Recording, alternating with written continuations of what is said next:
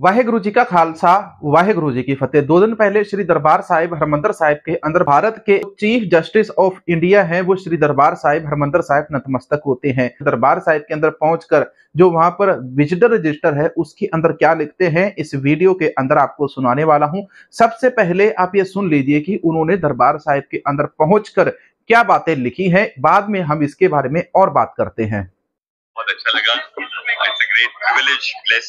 It's a great privilege blessing to be able to pray at Harmandir Sahib and I pray that you know all of humanity in our nation and beyond be happy, peaceful, and prosperous. That is my prayer for uh, the great divine uh, who rules all our lives.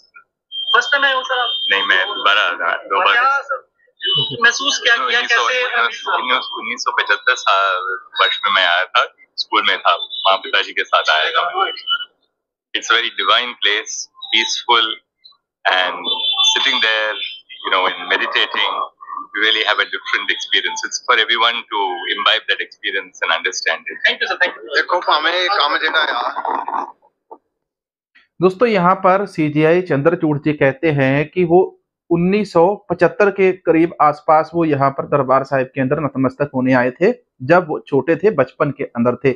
लेकिन अब वो फिर से यहाँ पर आए हैं। काफ़ी सारी बातें उन्होंने ऑफ़ द कैमरा भी जो सिख संगत के साथ की है या एस के साथ की तो उसके अंदर उन्होंने यही कहा कि मुझे यहाँ पर आकर बहुत आत्मिक शांति मिलती है। और यहाँ पर ये बड़ी सुकून भरी जगह है और पूरे संसार के अंदर ये इकलौती एक ऐसी जगह है जहाँ पर हर किसी को दोस्तों सुकून मिलता है। जब हमने देखा कि 10 दुनिया के जो हमने एक वीडियो बनाया था, दुनिया के 10 प्रसिद्ध, सबसे ताकतवर जो राष्ट्रपति थे, जब दरबार साहिब, हरमंदर साहिब के अंदर नतमस्तक होते हैं, आकर वो क्या कहते हैं?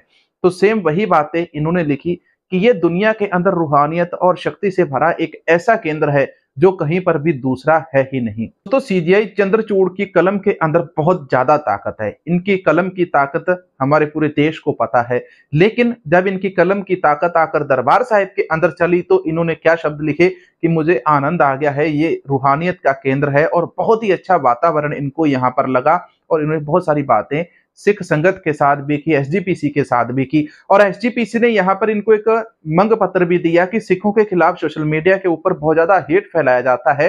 कुछ लोग तो दिन रात इसी काम के ऊपर लगे रहते हैं। तो इसके ऊपर उन्होंने कहा कि हाँ वो इसके ऊपर बात करेंगे और जो संबंधित कार्यालय है, उसको भी वो लिखेंगे। लेकिन साथ ही साथ जब सीजीआई चंद्रचूड़ जी दरबार साहिब के अंदर नतमस्तक हुए तो ये सभी को देखकर बहुत अच्छा लगा। तो वीडियो के बारे में आप क्या कहेंगे, कमेंट सेक्शन के अंदर ज़रूर बताना। मिलेंगे नए वीडियो के अंदर। वाहे गुरु जी का खालसा वाहे गुरु जी की फतेह।